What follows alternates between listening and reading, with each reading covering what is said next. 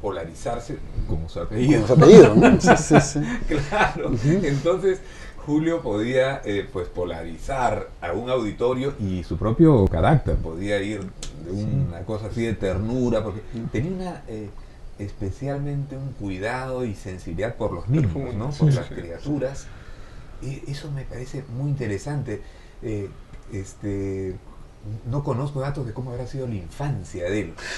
¿no? Buen detalle, por ejemplo. Eso sí, porque ahí tú sabes que en esa instancia se pueden descubrir muchas este, causas de, la conducta ya posterior, ¿no? Claro.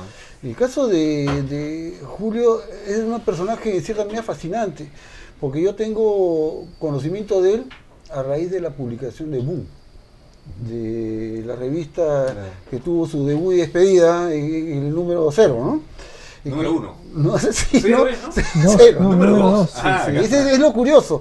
Lo sacó un poco premonitorio, como que si iba a caminar o a continuar, ¿no? Ajá. Y eso fue interesante porque fue una coyuntura, eh, pre, este, fue una coyuntura, digamos, provincial. Salieron cuatro revistas, estaba entre ellas este Boom, y justamente el, el pivote era este Julio Polar, el que había convocado todos los artistas, todo, y se molestó en editarla y venderla, que fue lo más curioso. Él fue prácticamente el canillita de la, de la publicación.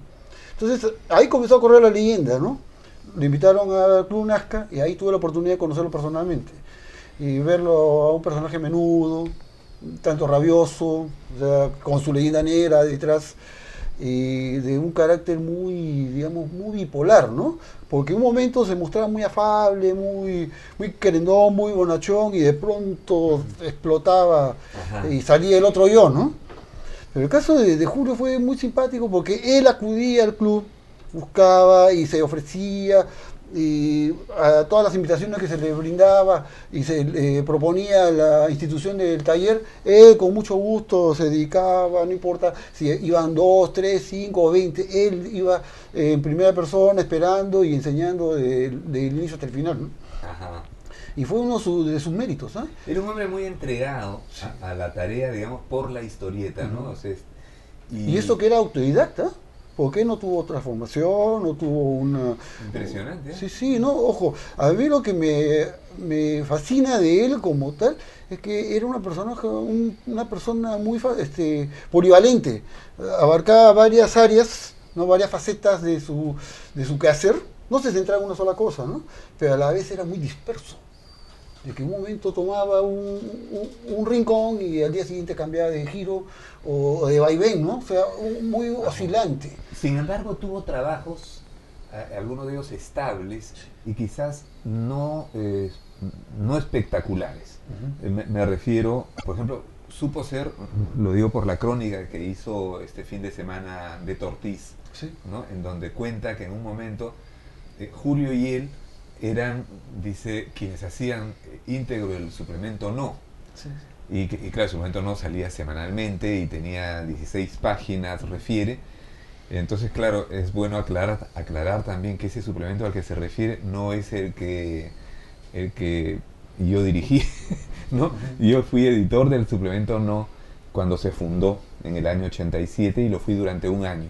Lo continuó Alonso Núñez, un poco en esa onda, y ahí se produjo una suerte de, de golpe, de pequeño golpe, se su- se- un, un corte, ¿no? Y luego quien se ocupa eh, del suplemento es Alfredo Marcos, ¿no? Y entonces eh, creo que se refiere a esa etapa, Beto, ¿no?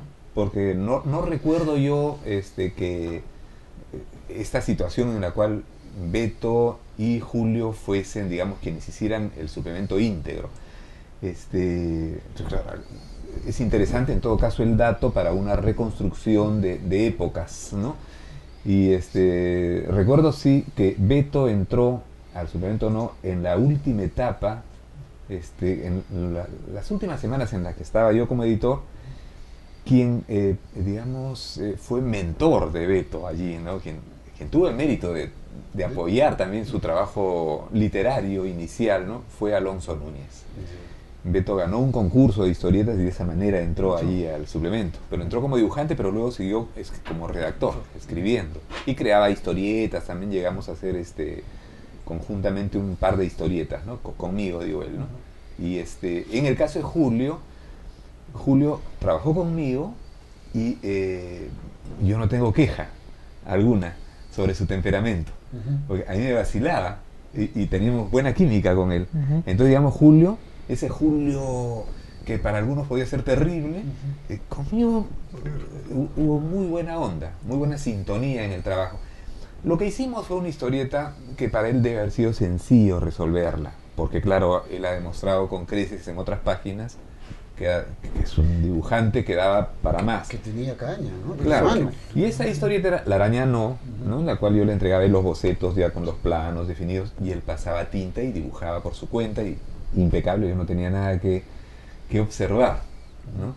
Y este, el final fue curioso de esa relación en la cual hicimos varias historietas, porque eh, recuerdo eh, Julio no llegaba el día en que teníamos que entregar y se acercaba la hora de cierre y ya se andaba merodeando por ahí, decir el encargado, el coordinador, ¿a qué hora? ¿A qué hora? Y Julio era el único que faltaba. la entrega. Sí, y yo, entonces yo lo llamaba por teléfono su casa, en esa época. ¿No había celular? No había, claro, las cosas que ahora sabemos. Y entonces este, dije, ¿qué hacemos con esa página? Y ese día tenía que terminar la historieta. Entonces yo agarré una cartulina y comencé a improvisar lo que recordaba del guion, porque ya no lo tenía conmigo. Comencé a hacer una página ahí eh, con cierta desesperación. Iba hacia el 75% avanzada cuando llegó Julio con la página. Y este... Julio, y yo lo miro y Julio se adelantó, me la dio y me dijo, Juan, y me dijo una cosa así como, ahí queda. ¿no? Entonces yo no le dije nada. Y él me presentó su renuncia eh, con un gesto y como caballero, ¿no? Y entonces yo le di la mano, lo abracé y seguimos siendo amigos, preferimos la amistad, digamos, que un roche, porque no iba a hacer que rompiéramos la amistad, pero iba a hacer que yo le llamara la atención con la hora. No, él no dio lugar a eso, ¿no? Y este y yo nos entendimos perfectamente, ¿no? y ahí se, se suspendió... el vínculo, digamos. Eh, la historieta. Claro. ¿no? la amistad continuó. Continuó impecable. El vínculo, continuó impecable. El vínculo laboral. Sí, sí, sí, sí. Pero quiero decirte, él hizo varias historietas. O sea, esa no fue la única. O sea, fue un tiempo largo que ocupa en el libro de la araña no todo el capítulo que se llama primaria. ¿no? Porque está dividido en las etapas escolar, eh, de la educación. ¿no? Y este, comienza con inicial, sigue primaria, secundaria que la hizo Toño Tapia. Claro. Y luego eh, con Carlos Castellanos, la última etapa que fue superior. ¿no? Y este, fue muy interesante. Pero digo, ese fue el Julio que trabajó conmigo.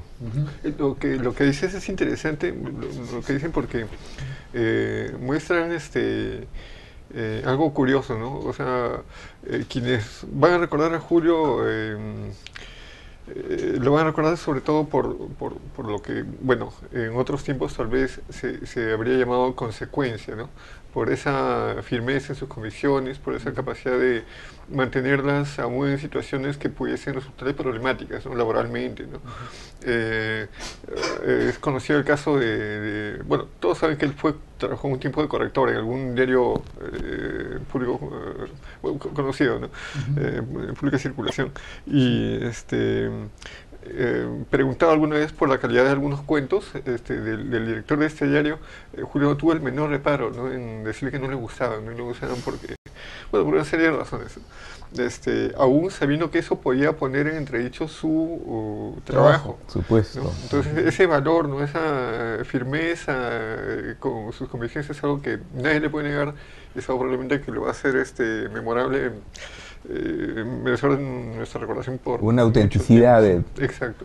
Pero al mismo tiempo, eh, es curioso porque eh, también se lo va a recordar, estoy seguro, por sus paradojas, porque así como podía ser este, duro, eventualmente inflexible, ¿no? en cualquier cosa que entrase en conflicto con sus principios, podía ser, como bien has recordado, este, el, el, maestro eh, cariñoso, reposo, paternal, ¿no? Del mismo, al mismo tiempo como podía ser este inflexible con algunas cosas este, que, que tuviesen que ver con sus eh, principios, podía ser también una persona mm, sumamente sensible, ¿no? Sumamente sensible. Y muy solidario, como Exacto, dices, sí, ¿no? sí, sí. Eh, cultivaba la fraternidad, la solidaridad, el desprendimiento, Claro. ¿no? O como, ya que se mencionaba el tema de, de- el realismo crudo en algunas de sus, de sus Ujú. obras, este, podía ser eh, un realista crudo en el desarrollo de algunos temas, ¿no? E incluso su aproximación a la, a la licencia podía ser este, intensa, pero al mismo tiempo era una persona que podía ser sumamente eh, humana, ¿no? aún en, en medio de las situaciones más este, aparentemente sórdidas y crudas. ¿no? Eh, eh, extremadamente sensible, una persona extremadamente sensible. ¿no? Sí, yo recuerdo una vez que hablábamos y él me dijo, eh, me hablaba de la coherencia, de- me decía, sí, yo no tengo miedo a pelearme con quien necesito pelearme eh, y a perder lo que tengo que perder en aras de mis principios. Eh, lo único que tengo miedo y es mi más grande temor es a volverme loco Así. en este, en este mundo en el cual vivimos.